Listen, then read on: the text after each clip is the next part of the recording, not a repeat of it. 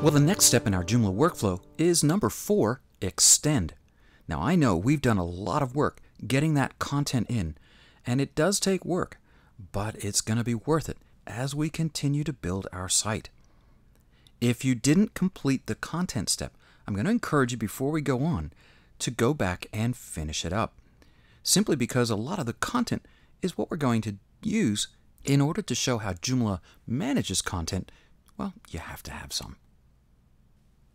There are five different kinds of extensions in Joomla, and I mentioned that earlier on in the course.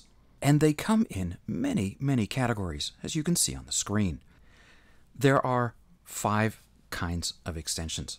Components, which are large scripts like forms, galleries, things like that. Modules are smaller scripts. These display menus, latest articles, recent forum posts.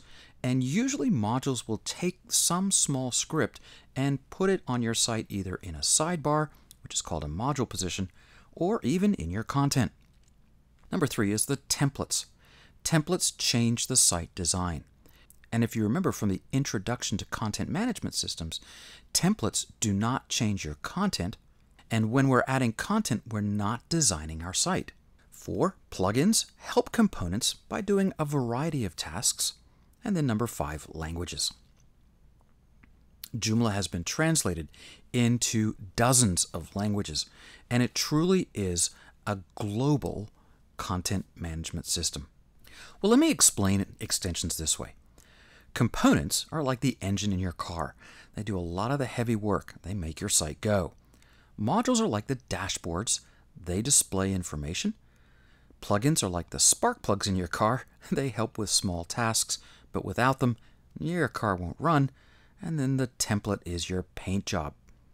I guess if we wanted to continue that through, languages would provide the translations for all of the information in your car. So Joomla comes with a whole bunch of extensions. There are 10 components, 25 modules, 53 plugins, and 4 templates. Now, don't worry, you don't have to know how all of those function in order to get Joomla working. Most of them just kind of quietly sit in the background and work for you. But we're going to go through each one in the upcoming videos. In the next video, then, we're going to talk about the components that come with Joomla.